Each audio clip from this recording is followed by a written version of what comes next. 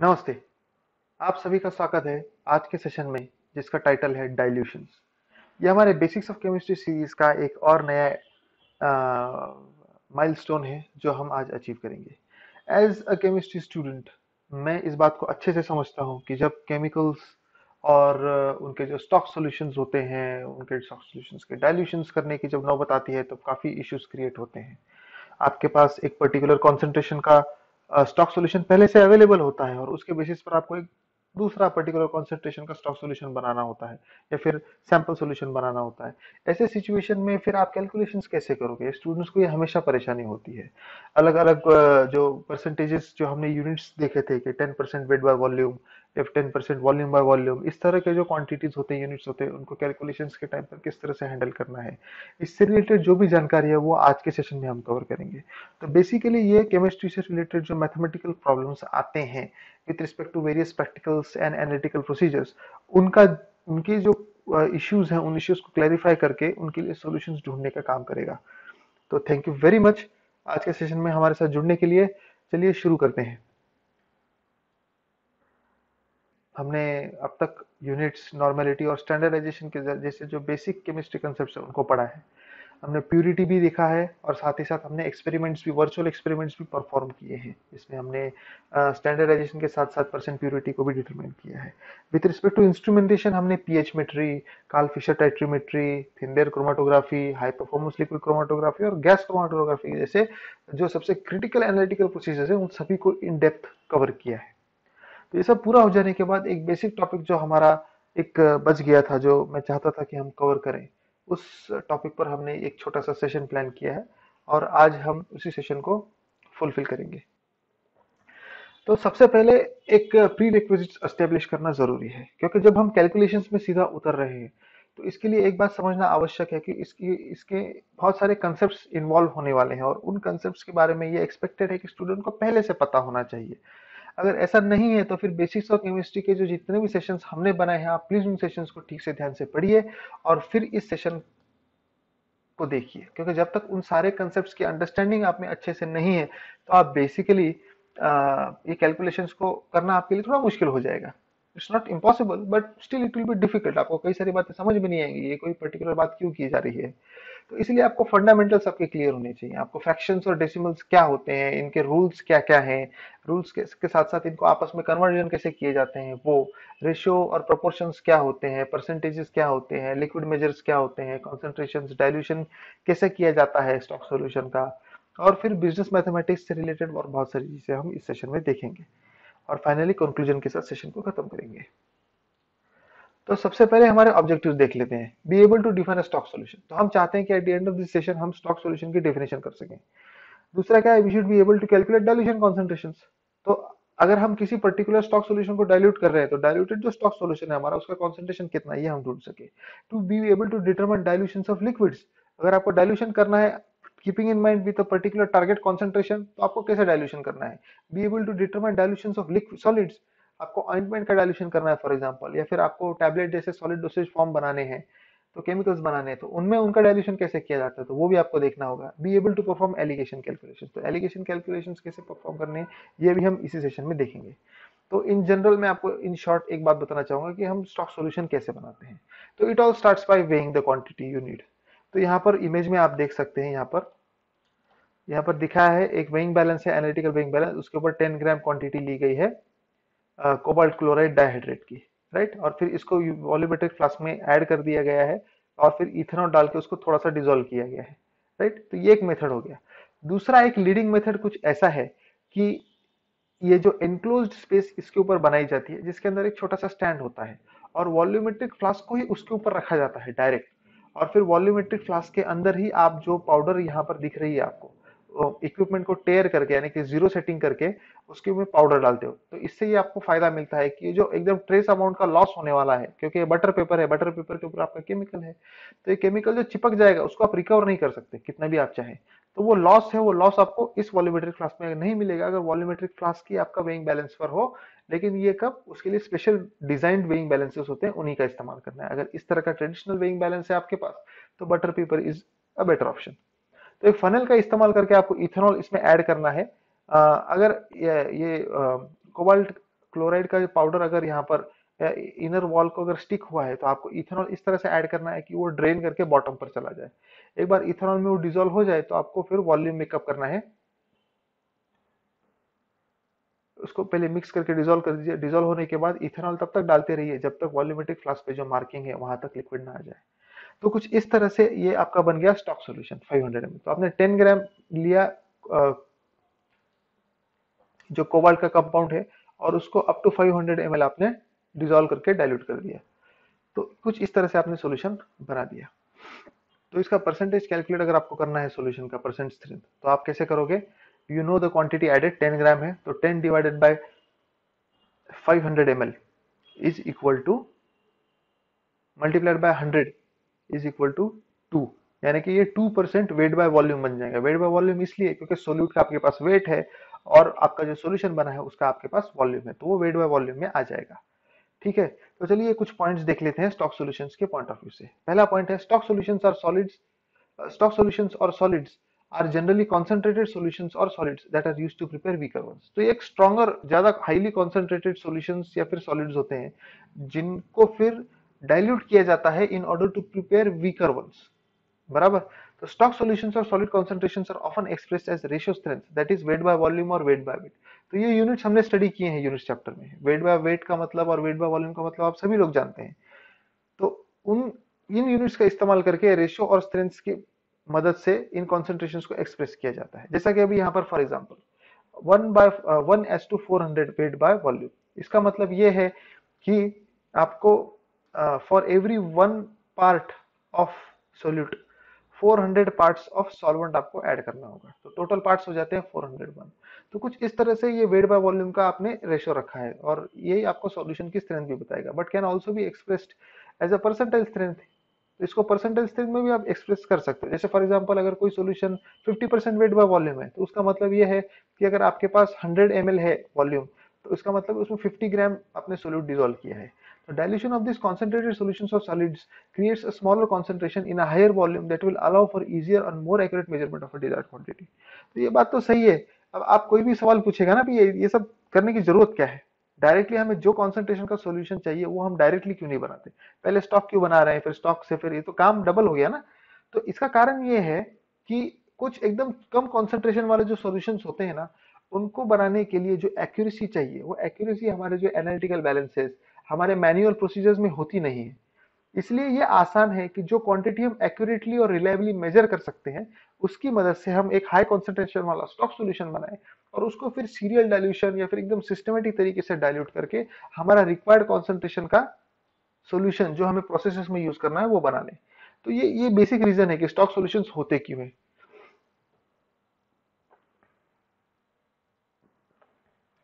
तो जैसा कि हमने अभी देखा कि स्टॉक सॉल्यूशंस की मदद करके डायल्यूट सॉल्यूशंस भी बन सकते हैं। तो देखिए फॉर एग्जांपल यहाँ पर स्टॉक सॉल्यूशन है।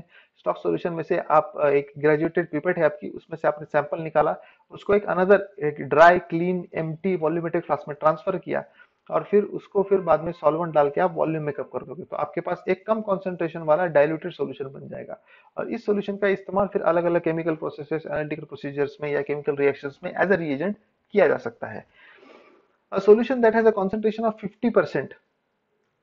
Okay, so 50 grams per 100 ml, right? यानी कि 50 weight by volume आ गया है ना weight by volume and has the volume doubled now has a concentration of 25% only naturally अगर आपके पास ऐसा सॉल्यूशन है 100 ml जिसके अंदर 50 ग्राम सोल्यूट डिसॉल्व है अब आपने पानी डालकर या फिर सॉल्वेंट को एक्स्ट्रा ऐड करके टोटल वॉल्यूम 200 ml पे सेट कर दिया तब उसका कॉन्सेंट्रेशन हो जाएगा 25% क्यों क्योंकि आपने सिर्फ़ सॉल्वेंट ऐड किया है सोल्यूट नहीं The amount of medication or solute in the solution did not change, only the volume of the liquid diluent. This means that the same amount of solute is now in twice as much diluent, creating a weaker solution. The same would be true for a solid product, ointment or creams. A cream with a percent strength of 18% and a weight of 20 gram that is combined with an additional 20 gram of cream base would now have a percent strength of 9%. तो ये basically यही idea है कि अगर आप, आपका जो active ingredient है, उसकी क्वांटिटी सेम रखते हुए, उसका जो सॉल्वेंट है in case of liquids in case of solutions और उसका जो बेस ऑइंटमेंट है in case of cream base है इन केस ऑफ़ ऑइंटमेंट्स आप अगर आप उसमें मिक्सिंग करते हो तो प्रोपोर्शनेटली उसका जो स्ट्रेंथ है परसेंटेज स्ट्रेंथ वो भी कम हो जाएगा। यानी कि अगर आपके पास 100 ग्राम ऑइंटमेंट है, जिसके अंदर 18 परसेंट कॉन्सेंट्रेशन है, उसमें आपने क्रीम बेस मिला के उसको 200 ग्राम कर दिया तो फिर उसका कॉन्सेंट्रेशन 18 परसेंट से नाइन परसेंट पे आ जाएगा। तो यही बात आपको सॉलिड सॉलिड डायल्यूशन में भी ध्यान में रखनी होगी। When performing calculation to create a more dilute product the shortest route is not always the best it is important to be accurate so that may mean more steps in the calculation तो हमेशा accurately इसको करना बहुत आवश्यक है। Shortcut uh, लेना गलत बात है। आपको थ्री की रूल्स याद रखने हैं। पहला है ratio strength should be converted to percent strength for easier calculation अगर आपके पास रेशियोज हैं तो रेशियोज को परसेंट में कन्वर्ट कर दीजिए कैलकुलेशन आसान हो जाएगा। प्रपोर्शन अगर आपके पास है twenty is to thirty five तो उनको, उनके जो लिस्ट सिंपल फॉर्म होता है मोस्ट सिंप्लीफाइड फॉर्म उसमें रिड्यूस कर दीजिए। जैसे कि for example one is to five hundred का जो रेशियो है, उसको आपने पॉइंट टू परसेंट में कन्वर्ट कर दिया। सिमिलरली आपके पास प्रोपोर्शन है two twenty is to five और फ्रैक्शन है सिक्स एस टू थर्टी तो उनको भी सिंप्लीफाई कैसे करेंगे आप? ट्वेंटी एस टू फाइव को, वो हो जाएगा फोर एस टू वन क्योंकि फाइव से ट्वेंटी डिवाइड हो जाता है। सिमिलरली सिक्स से थर्टी डिवाइड हो जाता है राइट right? सिक्स आप यूज़ करेंगे तो तो वन एस टू फाइव हो जाएगा। तो ये इस तरह से कुछ सिंप्लीफाई हो गए। और साथ ही साथ आपको इक्वेशन सॉल्व करते वक्त बॉडमास रूल का भी ख्याल रखना है। बॉडमास रूल आपको क्या कहता है कि सबसे पहले ब्रैकेट सिंप्लीफाई कीजिए। ब्रैकेट के बाद ऑर्डर ऑर्डर के बाद डिवीज़न डिवीज़न के बाद मल्टीप्लीकेशन मल्टीप्लीकेशन के बाद एडिशन और फिर फाइनली सब्सट्रैक्शन तो कुछ इस तरह से आपको आपके जो इक्वेशंस होते हैं कैलकुलेशन डायल्यूशन के कैलकुलेशन करते हो वो सॉल्व करने होते हैं।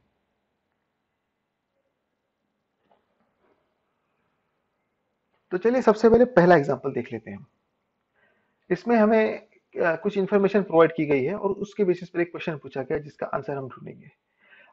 Millimetre millilitres of one is to five hundred weight by volume solution is needed to make three litres of one is to two thousand weight by volume solution तो हमारे पास सिर्फ़ इतनी इंफॉर्मेशन है कि हमारे पास एक सोल्यूशन है, जिसका स्ट्रेंथ कितना है? In the form of ratio one is to five hundred weight by volume इसका मतलब है कि for every one unit of solute, there are 500 units of solvent. Right अब इसको और हमें इसका इसका, इसकी एक स्पेसिफिक क्वांटिटी ढूंढनी है, जिस क्वांटिटी को डाइल्यूट करने पर हमें तीन लीटर सॉल्यूशन मिल सकता है, जिसका concentration one is to two thousand weight by volume होगा। तो ये हमारी गिवन इन्फॉर्मेशन है। तो हमारे पास थ्री अलग अलग वेरिएबल्स हैं जिनकी वैल्यूज़ हमें प्रोवाइड की गई है। तो हमें फोर्थ वैल्यू ढूंढनी है। फोर्थ वैल्यू क्या है? Quantity of one is to five hundred weight by volume solution तो ये ढूँढने के लिए सबसे पहले जो हमने पढ़ा था दो तीन स्टेप्स हैं। पहला स्टेप क्या है? आप रेशियोस को सिंप्लीफाई कीजिए। तो सबसे पहला रेशियो क्या है? One is to five hundred one is to five hundred को सिंप्लीफाई कैसे करेंगे? One divided by five hundred is equal to X divided by hundred तो अगर वन में फाइव हंड्रेड है तो हंड्रेड में कितना है? इसी को रिजोल्व अगर हम करेंगे तो x is equal to zero point two percent मिल जाएगा। तो ये उसका परसेंटेज स्ट्रेंथ हो गया one is to five hundred solution का। Similarly one is to two thousand का इक्वेशन अगर आप सॉल्व करेंगे तो आपको टोटल कॉन्सेंट्रेशन मिल जाएगा zero point zero five percent तो ये बेसिक दो अलग अलग सोल्यूशन हम जानते हैं कि हमें यूज़ करने हैं और दोनों का कॉन्सेंट्रेशन अब पता चल चुका है। राइट अब एक आपका बेसिक फॉर्मूला हमेशा याद रखना होगा, जो फॉर्मूला होता है N1V1 is equal to N2V2 या फिर Q1C1 is equal to Q2C2 या फिर M1 is equal M1V1 is equal to M2V2 तो बेसिकली ये सारे फॉर्मूलाज एक अंडरलाइनिंग प्रिंसिपल को एक्सप्रेस करते हैं। और वो प्रिंसिपल क्या है? प्रोपोर्शनैलिटी का जो रिलेशनशिप है वो जैसे फॉर एग्ज़ाम्पल यहाँ पर आपके पास किसी भी सोल्यूशन से रिलेटेड दो जानकारी है, उसका कॉन्सेंट्रेशन और उसका वॉल्यूम राइट तो कॉन्सेंट्रेशन और वॉल्यूम में हमेशा रखिए, याद रखिएगा कि एक इनवर्स प्रोपोर्शनल रिलेशनशिप होता है। इसका मतलब यह है कि किसी भी सॉल्यूशन का अगर वॉल्यूम कम होता है तो कॉन्सेंट्रेशन बढ़ जाता है। कॉन्सेंट्रेशन कम होता है तो फिर वॉल्यूम बढ़ जाता है। तो ये इनवर्सली प्रोपोर्शनल है, जो रिलेशनशिप यहाँ पर दिख रही है। तो Q is for quantity and C is for concentration तो पहला जो सोल्यूशन है लेटेस्ट अज्यूम ये one is to five hundred वाला जो सोल्यूशन है, ये फ़र्स्ट सोल्यूशन है आपका राइट तो इस सोल्यूशन का जो क्वांटिटी है, वो क्यू है और इसका जो कॉन्सेंट्रेशन है, वो सी है। कॉन्सेंट्रेशन तो हमारे पास है ज़ीरो पॉइंट टू लेकिन क्वांटिटी हम नहीं जानते, हमें वो कैलकुलेट करनी है। तो इसका रिलेशनशिप कैसे डिपिक्ट होगा? Q1 is direct is inversely proportional to C1 उसी तरह से Q2 is inversely proportional to C2 अब अगर हम Q1 का और Q2 को Q1 से Q2 को डिवाइड करते हैं Q1 से Q2 को डिवाइड किया तो 1 is to C one divided by one is to C two हो जाएगा। और इसी को सिंप्लीफाई करेंगे तो सी टू नॉर्मल न्यूमरेटर पे और सी वन डिनोमिनेटर पे आ जाएगा। इसका मतलब यह है कि Q1 one upon Q two is equal to C two upon C one और इसी का क्रॉस मल्टीप्लीकेशन करेंगे तो आपको Q1 C1 multiplied by Q2 Q1 Q1 multiplied by C1 is equal to Q2 multiplied by C2 ये value मिल जाएगी। अब क्योंकि ये क्वांटिटी को डिपिट करते हैं और कॉन्सेंट्रेशन को तो आप जानते हैं कि क्वांटिटी को डिपिट क्या करता है? वॉल्यूम इसलिए वॉल्यूम आ गया।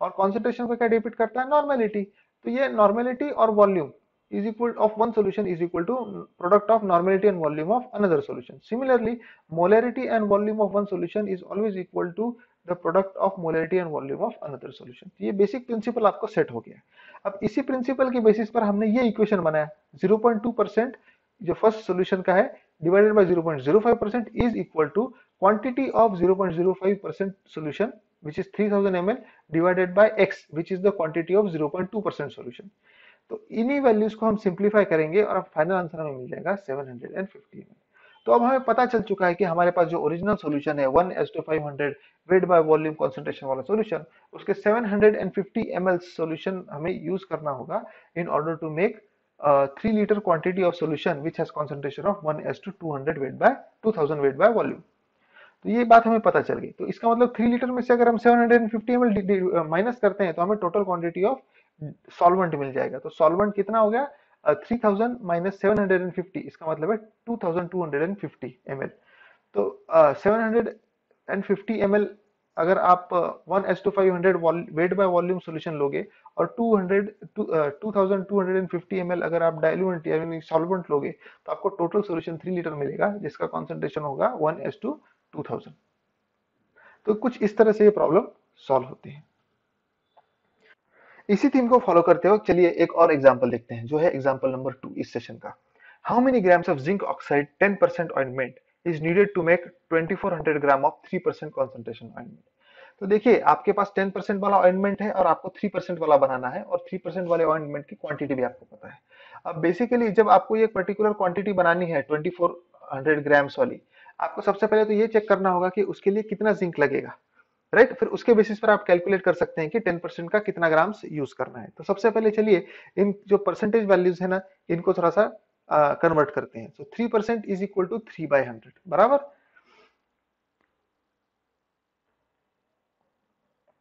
और आगे मतलब जो हमारा इक्वेशन है क्यू वन सी वन और क्यू टू सी टू का। उसके बेसिस पर हमें क्या मिला?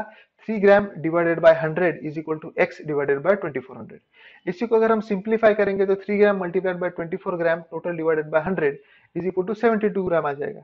तो ये बेसिक आइडिया ये है कि आपको टोटल जो रिक्वायरमेंट है जिंक का, वो है सेवेंटी टू ग्राम ओके लेकिन आपके पास जो कॉन्सेंट्रेशन है, वो है टेन परसेंट तो हम क्या करेंगे? फिर इस वैल्यू को फ़ीड करेंगे अगले स्टेप में। आप, हम जानते हैं कि टेन परसेंट में क्या होता है? For every hundred gram there is ten gram, okay? अब इसी को हम कंपेयर करेंगे। अगर 100 ग्राम में 10 है तो फिर कितने में 72 आएगा? तो इस हिसाब से अगर हम रेशियोज के बेसिस पर या डिवीज़न फ्रैक्शंस के रूल पर अगर हम इसको एनालाइज करते हैं तो हमें फाइनली ये इक्वेशन मिलेगा। X is equal to 72 gram multiplied by 100 divided by 10 which is equal to 720 grams of zinc 10% zinc is needed तो 10% प्यूरिटी वाला 720 ग्राम आपको यूज़ करना होगा। और अगर 720 ग्राम अगर आप जिंक का 10% ऑइंटमेंट यूज़ कर रहे हो तो 2400 minus 720 is equal to 1680 gram of ointment base आपको यूज़ करना होगा, ताकि टोटल वॉल्यूम जो हो आपका 2400 ग्राम बहुत सिंपल है, ज़्यादा कॉम्प्लिकेटेड नहीं है फॉर्मूलाज भी सिंपल है सिंपल क्रॉस मल्टीप्लीकेशन है, ज़्यादा चिंता करने की आवश्यकता नहीं इट्स वेरी इजी तो चलिए आगे बढ़ते हैं. लिक्विड लिक्विड डायल्यूशन कैसे होते हैं? Diluting liquid changes the concentration of that liquid naturally अगर आप लिक्विड को डायल्यूट कर रहे हो तो उसका कॉन्सेंट्रेशन तो चेंज होगा ही। सिंस थ्री और four components are already known the concentration of the new solution can be determined by using proportions rules तो ये टोटल चार क्वांटिटीज है ना? आपके पास क्वांटिटी है और उसका कॉन्सेंट्रेशन है। तो बेसिकली ये फोर पैरामीटर्स है। फोर पैरामीटर्स में से तीन पैरामीटर्स अगर आपको पता हो तो प्रोपोर्शंस का रूल इस्तेमाल करके आप फोर्थ क्वांटिटी को आसानी से डिटरमाइन कर सकते हो। This measure can also be use to determine how much product can be made from a known amount of higher concentration तो और इसी मैकेनिज्म पे इस्तेमाल करके हम ये भी डिटरमाइन कर सकते हैं कि आपके पास अगर पर्टिकुलर कॉन्सेंट्रेशन का एक पर्टिकुलर वॉल्यूम प्रेजेंट है पहले से तो आप टोटल कितना प्रोडक्ट उससे बना सकते हो एक पर्टिकुलर कॉन्सेंट्रेशन का। तो इससे रिलेटेड ये थर्ड प्रॉब्लम है। तो इसमें देखिए what is the new concentration of a dextrose 70 percent five hundred ML solution diluted to 2000 ml तो देखिए, आपके पास एक पहले से एक सॉल्यूशन पड़ा है, जिसका कॉन्सेंट्रेशन था 70 परसेंट ये डेक्सट्रोस का सॉल्यूशन है राइट तो 70 परसेंट कॉन्सेंट्रेशन है डेक्सट्रोस का और टोटल वॉल्यूम है 500 ml और इसको डायल्यूट कर दिया up to 2000 ml with water right तो जब ये डायल्यूशन किया गया तो उसके कॉन्सेंट्रेशन में चेंज आया। एग्जैक्टली तो फिर अब नया कॉन्सेंट्रेशन क्या है? ये अगर हमें कैलकुलेट करना है तो आप यहाँ पर देख सकते हैं, यहाँ पर हमारे पास चार में से तीन वैल्यूज़ पहले से हैं। तो 70 परसेंट हो गया हमारा कॉन्सेंट्रेशन वन 500 हंड्रेड हो गया हमारा क्वांटिटी वन और 2000 हो गया क्वांटिटी टू अब Q1 divided by Q2 is equal to C two divided by C one ये इक्वेशन को याद रखिए और वही वैल्यूज़ अगर हम यहाँ पे फ़ीड करते हैं तो हमें ये इक्वेशन मिलता है. X is equal to seventy multiplied by five hundred divided by hundred is equal to three hundred fifty gram total grams of dextrose in 500 ml water तो अब हमें पता चल गया कि 500 ml सॉल्यूशन में total 350 grams of dextrose present था। तो अब हम इसी 350 ग्राम्स को क्या करेंगे?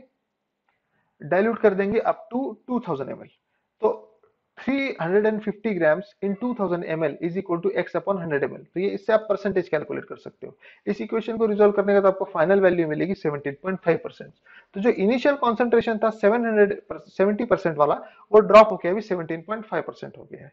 इसी कैलकुलेशन को हम Q1 C1 Q2 C2 का फॉर्मूला यूज़ करके भी सॉल्व कर सकते हैं। What is the new concentration? और percentage strength of dextrose 70 percent 500 ml solution तो देखिए Q1 C1 का जो सोल्यूशन है, वो कुछ इस तरह से आया है। Q1 C1 is equal to Q2 C2 500 ml seventy is 70 to two thousand 2000 ml multiplied by x percent इसी इक्वेशन को रिजोल्व करने के लिए 22000 को हमने डिनोमिनेटर पे भेज दिया। तो फाइनल आंसर क्या मिल जाएगा? 500 multiplied by 70 is equal to 3500 divided by 2000 is equal to 17.5 x is equal to percent 17.5 percent तो कुछ इस हिसाब से आपका फोर्थ एग्जांपल में आप q1 c1 is equal to q2 c2 formula का इस्तेमाल करके अननोन जो आपका कॉन्सेंट्रेशन है वो आप डिटरमाइन कर सकते हो। फिर है example number five how many milliliters of 3% gentamicin solution can be made from 60 ml of 10 percent gentamicin तो यहाँ पर आपके पास एक सॉल्यूशन है, जिसको हम स्टॉक सॉल्यूशन या फिर स्टॉक ऑइंटमेंट कह सकते हैं राइट तो जेंटामाइसिन का जो सॉल्यूशन है, वो 60 ml आपके पास है और उसका कॉन्सेंट्रेशन है 10 परसेंट तो इसका इस्तेमाल करके आपको अगर 3 परसेंट का मैं कहूँ सॉल्यूशन बनाइए तो टोटल कितना बन सकता है, ये हमें देखना है। तो इसके लिए भी अगेन Q1 C1 और Q2 C2 का फॉर्मूला यूज़ हो सकता है। आपका पहला जो सॉल्यूशन है, वो क्या है? थ्री परसेंट वाला है ना? तो समझ लीजिए अपना पहला जो कॉन्सेंट्रेशन है C1 है, आपका थ्री हो गया और आपका Q1 आप नहीं जानते। आपको आगे क्या करना है? Q1 C1 is equal to Q2 C2 तो Q2 कितना है आपका? 10 सॉरी 60 और C2 कितना है? 10 60 multiplied by 10 divided by 3 is equal to कितना हो गया? 200 ml और यही क्वांटिटी आपको आप बना सकते हो थ्री परसेंट जेंटामाइसिन सोल्यूशन की। तो इसको एक दूसरा मेथड भी क्या है मतलब जो रेगुलर मेथड है टेन परसेंट को आपने कन्वर्ट कर दिया टेन हंड्रेड में है तो फिर सिक्सटी में कितना है? Right right? इसको रिजोल्व कर दिया आपने तो आपको आंसर मिल गया सिक्स ग्राम जेंटामाइसिन यानी कि जो टोटल टेन परसेंट वॉल्यूम जो आपके पास है सिक्सटी एम का, उसके अंदर टोटल सिक्स ग्राम जेंटामाइसिन है। अब इसको आपने डायल्यूट करना है, अब तब तक, जब तक आपको थ्री परसेंट नहीं मिल जाता। तो थ्री परसेंट का मतलब क्या होता है? Three divided by hundred is equal to six gram gentamicin divided by X क्योंकि ये क्वांटिटी आपको पता नहीं है क्या है। इसको रिजोल्व किया आपने तो आपको फाइनल आंसर मिल गया X is equal to two hundred M तो इसका मतलब है कि आप overall two hundred M L solution बना सकते हो। सॉलिड्स का डायल्यूशन लिक्विड्स के डायल्यूशन की तरह ही होता है। सिर्फ़ ये जरा फिजिकली अलग दिखता है। तो यहाँ पर आप देख सकते हैं, आपके पास एक एक्टिव इंग्रेडिएंट की पेस्ट है और ये आपका क्रीम बेस है। आप क्रीम बेस धीरे धीरे ऐड कर रहे हो और फिर आपके पास एक बड़ा बल्क बन जाता है। जो essentially speaking आपका diluted content है In dilution of solid products, creams and ointments reduces their concentration also. They can be represented as ratio strengths or percent strengths, just like solutions. They are diluted with an ointment or cream base with no active ingredient. The calculations are done the same way as solutions dilutions. The proportion rule or quantity concentration formula can be used also. तो अब तक हमने जो formulas use किए solutions के लिए same semi solid जो आपके प्रोडक्ट्स होते हैं यानी कि ऑइंटमेंट्स पेस्ट जेल्स उन सभी के लिए इनका इस्तेमाल भी किया जा सकता है। तो इससे रिलेटेड एक प्रॉब्लम देख लेते हैं। How many grams of lidocaine 20 percent ointment and how many grams of an ointment base must be combined to obtain 2 pounds of a 2.5 percent lidocaine topical ointment तो यहाँ पर देखिए कुछ इन्फॉर्मेशन आपके पास पहले से अवेलेबल है। पहला पॉइंट क्या है कि how many grams of lidocaine 20 percent ointment तो आपके पास जो स्टार्टिंग मटेरियल है वो क्या है? 20 परसेंट लीडोकेन ऑइंटमेंट उसके कितने ग्राम्स और ऑइंटमेंट बेस के साथ कितनी क्वांटिटी आपको कंबाइन करनी पड़ेगी, ताकि आपको मिलेगा 22 two pound of 2.5 percent lidocaine topical ointment okay तो ये आपको देखना होगा। अब इसके लिए कन्वर्जन फैक्टर आपको प्रोवाइड किया है one pound is equal to four hundred and fifty four gram इसका मतलब है two pound is equal to कितना हो जाएगा? 908 ग्राम्स ओके तो चलिए, आपके पास परसेंटेजेस हैं, पहले परसेंटेज को फटाफट क्वांटिटीज में हम एक्सप्रेस करते हैं और उसके बेसिस पर एग्जैक्टली कैलकुलेट करेंगे कि किस सोल्यूशन में आपका जो एक्टिव इंग्रेडिएंट है इस केस में लीडोकिन वो कितना है। तो हमारे पास पहला कॉन्सेंट्रेशन क्या है? 2.5 परसेंट है। तो 2.5 परसेंट इज़ इक्वल टू उसका मतलब है कि 2. हाँ तो 2.5 ग्राम इन 100 ग्राम होगा 2.5 परसेंट का मतलब। तो 908 ग्राम जो दो पाउंड है, उसमें टोटल कितना लीडोकिन आएगा? इसकी फॉर्मूला को हमने सिंप्लीफाई किया तो हमें आंसर मिल गया 22.7 ग्राम तो 22.7 ग्राम लीडोकिन की आवश्यकता है अगर आपको टू पाउंड ऑफ़ सॉल्यूशन बनाना है। ओके कौन सा? 2.5 परसेंट वाला। ये वैल्यू तो हमें मिल गई। अब हमें ये डिटरमाइन करना है कि 22.7 ग्राम लीडोकेन के लिए हमें कितना 20 परसेंट वाला ऑइंटमेंट यूज़ करना होगा। तो इसलिए 20 परसेंट को आप कन्वर्ट करेंगे।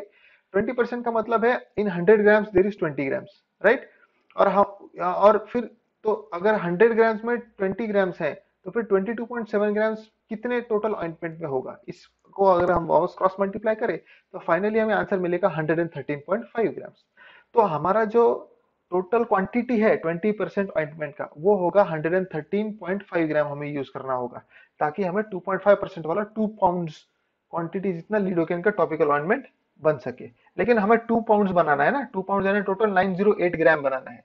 तो 908 ग्राम में से अगर हम 113.5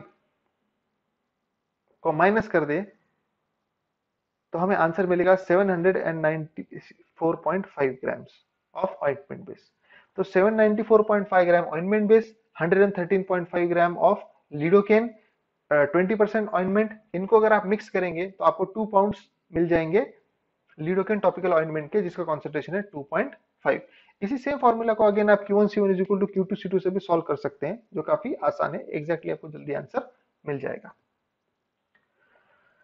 इसके बाद आता है एलिगेशन मेथड एलिगेशन मेथड बहुत इंपॉर्टेंट है। ये खास करके तब आपके काम में आती है जब आपके पास सेम एक्टिव इंग्रेडिएंट के मल्टीपल सॉल्यूशंस अलग अलग कॉन्सेंट्रेशन के प्रेजेंट होते हैं। इन कॉन्सेंट्रेशन का इस्तेमाल अलग अलग कॉन्सेंट्रेशन वाले सॉल्यूशंस का इस्तेमाल करके आप एक नया सॉल्यूशन बना सकते हो, जिसका कॉन्सेंट्रेशन जो टारगेट सोल्यूशन है, उसका कॉन्सेंट्रेशन आपके लोएस्ट और हाइएस्ट कॉन्सेंट्रेशन के रेंज में होगा। Alligation method is a method use to calculate the percent strength when combining multiple strength of the same ingredient it can also be use when the volume of each of the two different strength of the same ingredient must be determined in order to make a new strength this new strength must be in between the two strengths that are being combined तो इसके लिए एक matrix है, एक grid है, इसको allegation grid कहते हैं, जो आपके स्क्रीन पर आपको दिख रहा है। तो इसमें लिखते वक्त कुछ इस तरह से लिखा जाता है। देखिए, जब आप ग्रिड ग्रिड को फिल आउट करते हैं ना तो आपको higher concentration left hand side top corner में lower concentration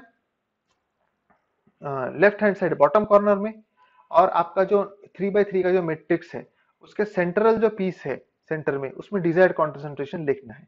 फिर आपको बेसिक कुछ नहीं करना है, सिर्फ़ सब्सट्रैक्शन करना है ओके तो हाई कॉन्सेंट्रेशन में से आपको डिजायर्ड कॉन्सेंट्रेशन सब्सट्रैक्ट करना है, और जो वैल्यू आएगी वो आपको right hand side lower bottom में लिखनी है। डिजायर्ड कॉन्सेंट्रेशन में से आपको लोअर कॉन्सेंट्रेशन माइनस करना है और जो डिफरेंस आएगा वो आपको right hand side top corner में लिखना है। अब ये जो राइट हैंड साइड जो है आपकी आरएचएस इस ग्रिड की, वो इंडिकेट करती है नंबर ऑफ़ पार्ट्स। यानी कि ये एक तरह से रेशो को इंडिकेट करती है, जिस रेशो में हायर कॉन्सेंट्रेशन और लोअर कॉन्सेंट्रेशन वाले लिक्विड्स को मिक्स करना चाहिए, ताकि आपको डिजायर्ड कॉन्सेंट्रेशन वाला सोल्यूशन मिले। यहाँ पर वॉल्यूम का खेल इस वक्त नहीं हो रहा यहाँ सिर्फ़ कॉन्सेंट्रेशन का खेल हो रहा है राइट और इन दोनों को जब हम ऐड कर देते हैं तो हमें टोटल पार्ट्स ऑफ़ सॉल्यूशन मिलते हैं। और total parts of solutions with respect to number of parts of individual component ये हमें पता चल जाए तो रिक्वायर्ड वॉल्यूम कैसे बनाना है, ये कैलकुलेट करना कोई मुश्किल बात नहीं होती। There are two different ways to perform alligation calculation तो एलिगेशन कैलकुलेशन परफॉर्म करने के दो अलग अलग तरीके हैं। The first method uses the total volumes of the solutions and total grams of the ingredient in the solutions and then using the proportion rule the new percent strength is determined तो ये काफ़ी आसान है। आ, ये multiple अलग अलग solutions हैं जिनकी अलग अलग स्ट्रेंथ्स हैं और इनके अलग अलग क्वांटिटी हम मिक्स करने वाले हैं राइट तो बेसिकली हमें क्या करना है? इन सभी को ऐड कर देना है। क्योंकि एक्टिव इंग्रेडिएंट सेम है तो पहले सॉल्यूशन में टोटल नंबर ऑफ़ ग्राम्स जितना सोल्यूट है वो प्लस बी में जितना है, उतना, फिर सी में कितना क्वांटिटी उसको ऐड कर दीजिए। उसी तरह से इन सॉल्यूशंस की टोटल वॉल्यूम को भी ऐड कर दीजिए। और फिर इसको इक्वेट कीजिए आपके परसेंट फॉर्मूला के साथ राइट तो total quantity of solute divided by total quantity of solvent total quantity of solution is equal to X divided by hundred ये परसेंट स्ट्रेंथ बताएगा। तो x के लिए इस इक्वेशन को सिंप्लीफाई करेंगे तो आपको परसेंट स्ट्रेंथ मिल जाएगा। तो इसके लिए एक फॉर्मूला है, चलो फॉर्मूला एक प्रॉब्लम है प्रॉब्लम देख लेते हैं। Mix together 100 ml of 50% dextrose with 250 ml of 40% dextrose and 450 ml of 70% dextrose with what is the new percent strength? तो हमारे पास डेक्सट्रोज के तीन सॉल्यूशंस हैं। तीनों सॉल्यूशंस को हमने आपस में मिक्स कर दिया। राइट जब मिक्स किया तो फिर अब क्या करना पड़ेगा हमें? जो नया सॉल्यूशन बना है, उसका कॉन्सेंट्रेशन हमें डिटरमाइन करना है। तो इनपुट डेटा की तरफ़ देख लेते हैं।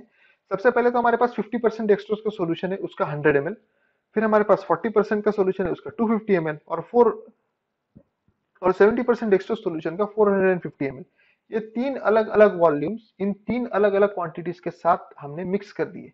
हमारा टारगेट है जो फाइनली जो सॉल्यूशन बना है, उसका कॉन्सेंट्रेशन डिटरमाइन करना। तो ये जो परसेंटेज है, चलो परसेंटेज को एक्सप्रेस करते हैं इनके राइट फॉर्म में।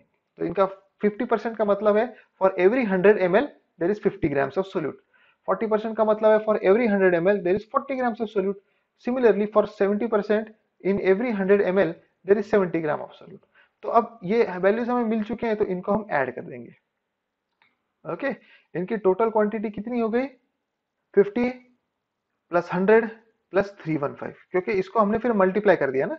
100 एम के साथ 250 के साथ और 450 के साथ। Okay okay?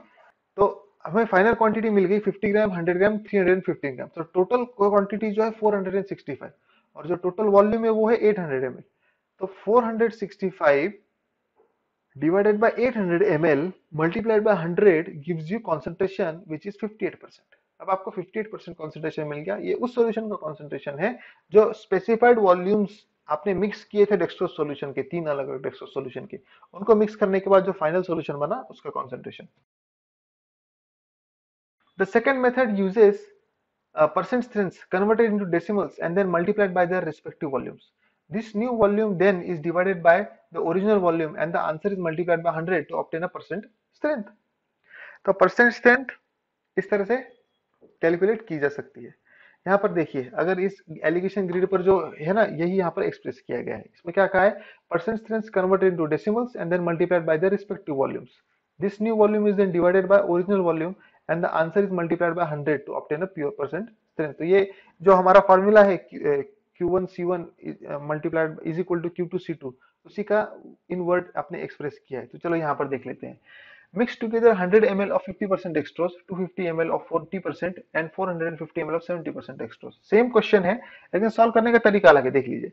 तो आपके पास अगर 50% है तो उसका मतलब है कि 0.5 मल्टीप्लाइड बाय 100 ml यानी कि 50 ml हो गया। 40% का मतलब है 0.4 मल्टीप्लाइड बाय 250 ml क्योंकि देखिए, इन नंबर्स को हमने कन्वर्ट कर दिया है ना?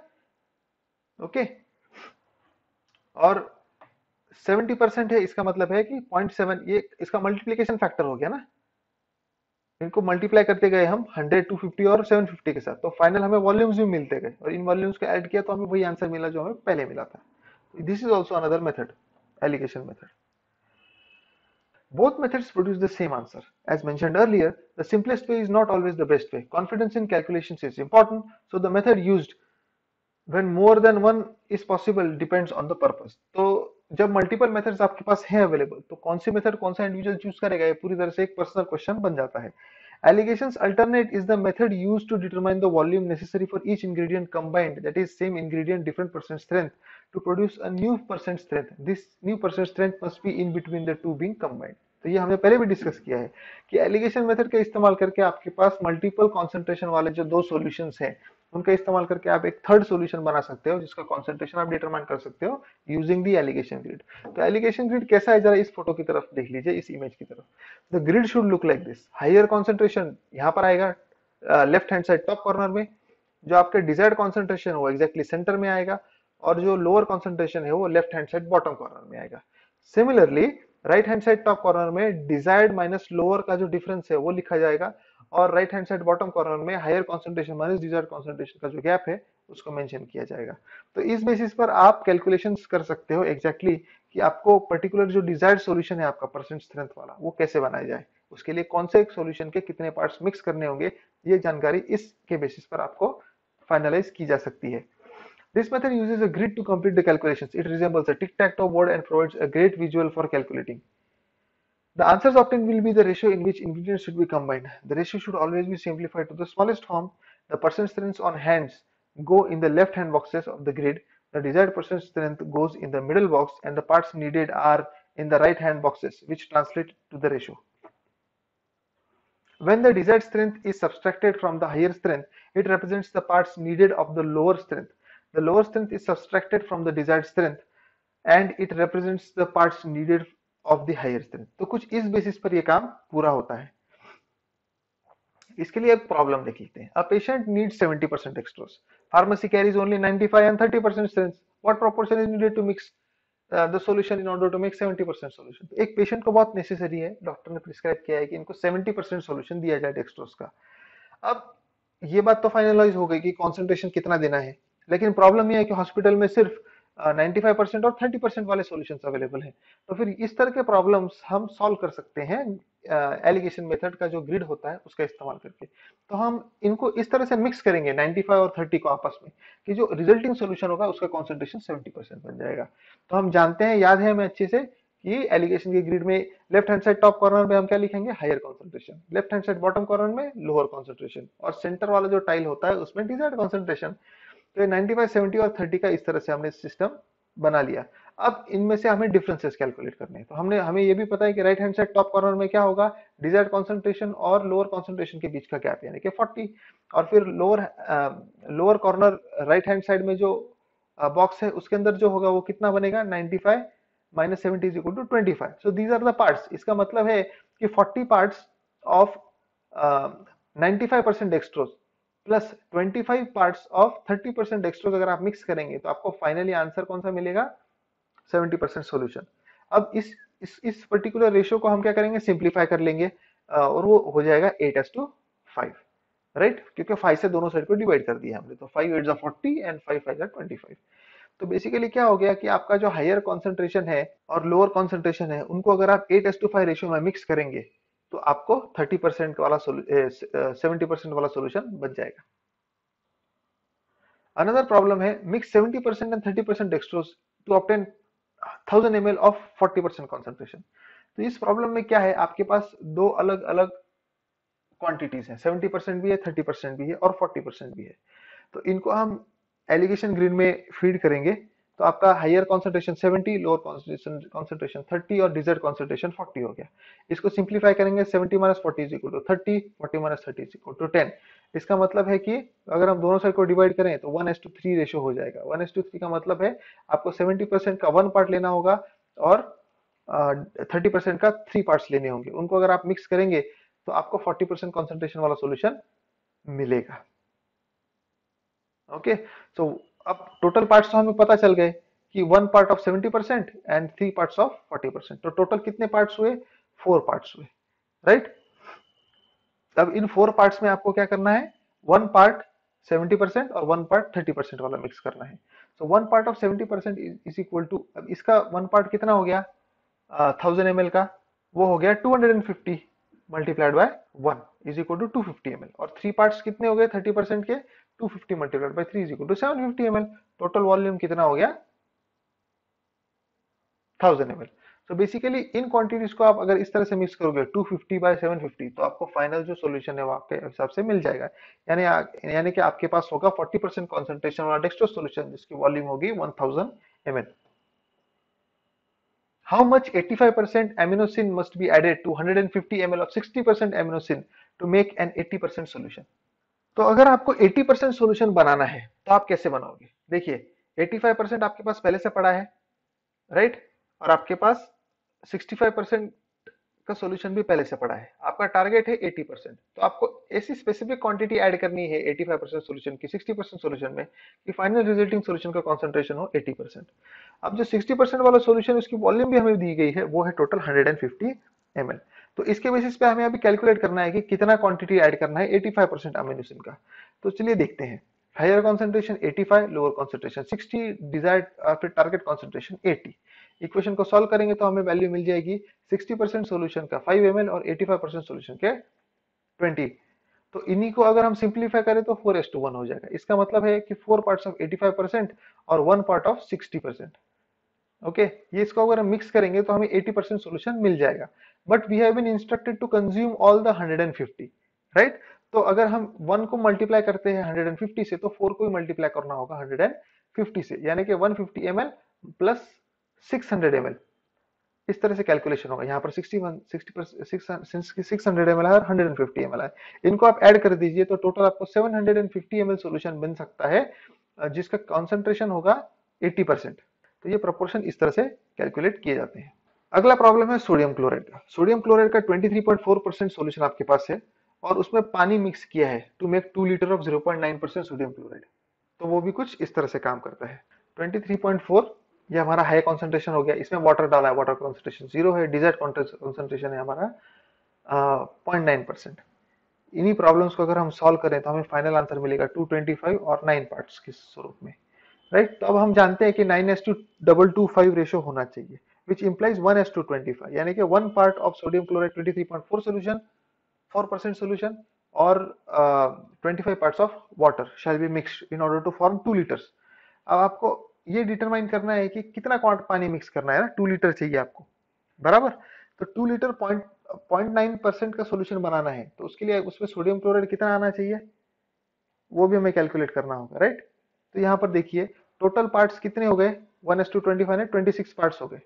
Okay so volume needed is 2000 ml. तो 2000 ml को 26 से डिवाइड कर दीजिए तो एक सिंगल पार्ट कितना हो गया? 76.9 अब ये 76.9 मल्टीप्लाइड बाय 25 कर दीजिए तो आपको आंसर मिल जाएगा। तो 76.9 ml पर पार्ट इसको राउंड अप कर दीजिए up to 77 ml.